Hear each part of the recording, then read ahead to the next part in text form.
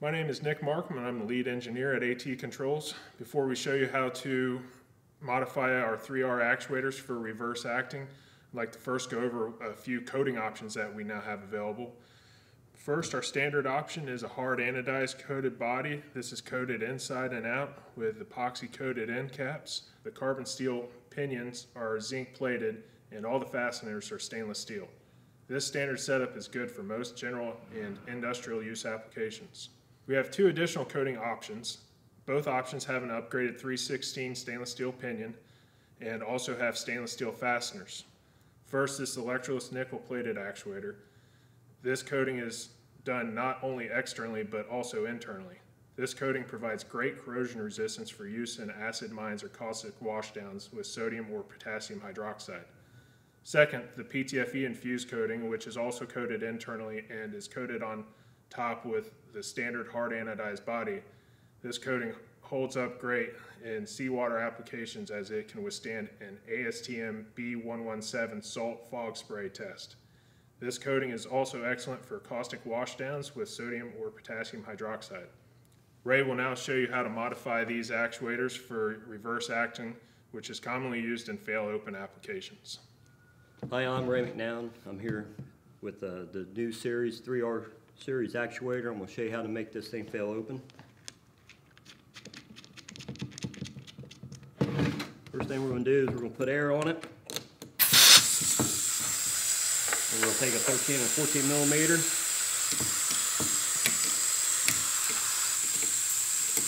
Loosen the stops.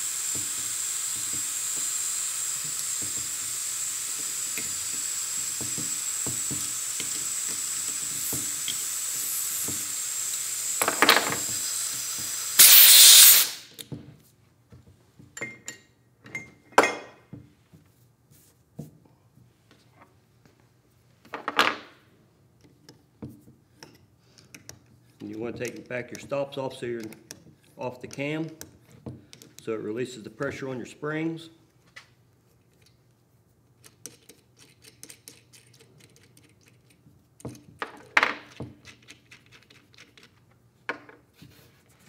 And we'll start by removing the end cap.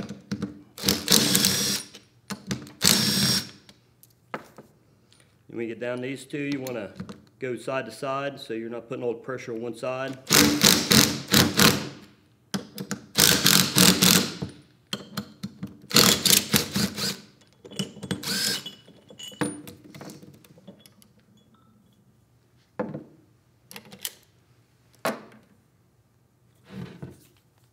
And do the same the other side.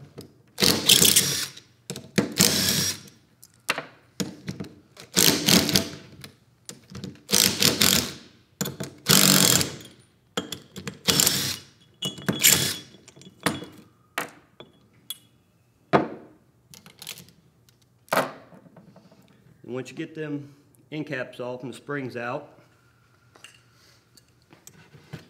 you want to take your adjustable, pop the pistons out. Usually after you do two turns, you can feel it come off the rack. And at this point, just pull the pistons out.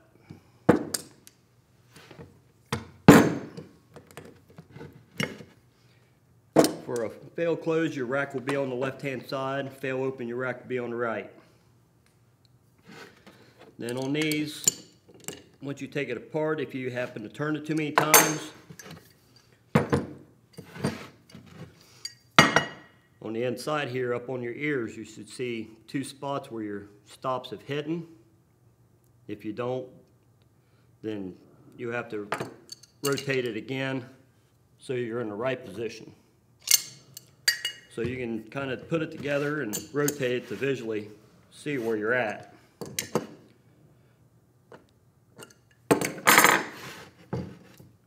Once you're in the right position, put your pistons back in with your rack on the right.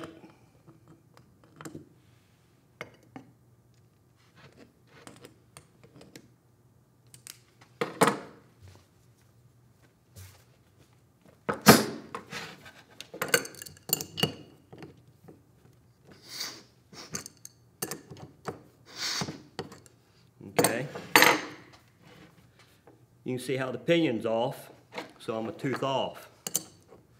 So I'm gonna do is I'm gonna back it back out until I can feel it come off the rack.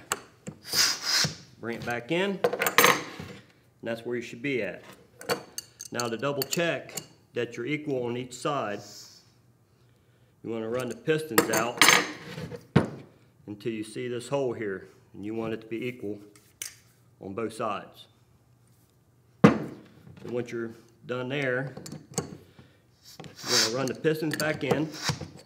Before you put anything back together, you want to take your stop and run your stop in and make sure this moves.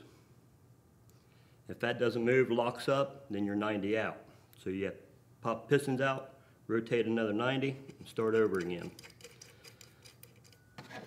Then just uh,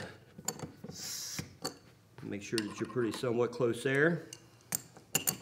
Suck the pistons back in. Now this time you'll put your springs on the right-hand side, on the same side as your rack. So when you take it apart, all your springs are on the left, same side as the rack. Now when you get ready to put the end cap back on, you want to make sure that your O-ring is seated down inside the end cap. That way it's not coming out in one spot or the other.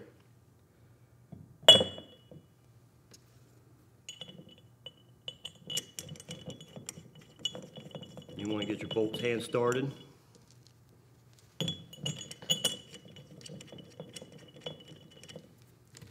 And assemble it the same way as you took it apart.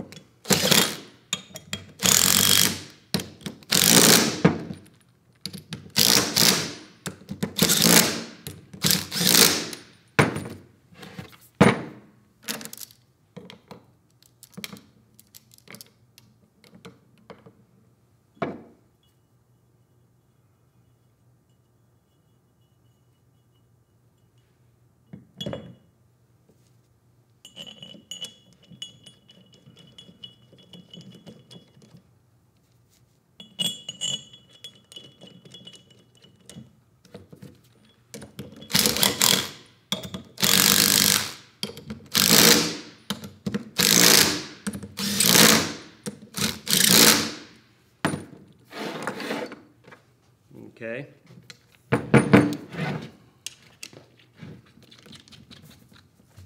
Now, you want to go ahead and put air back on it, and adjust your stops.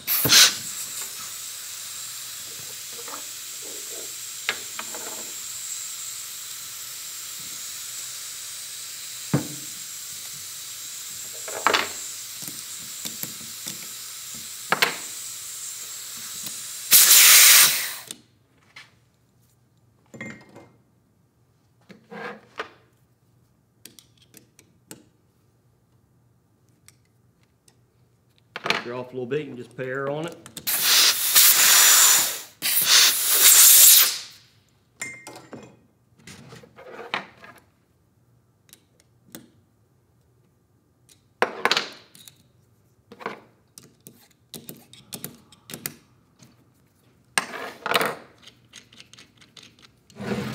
And that's it.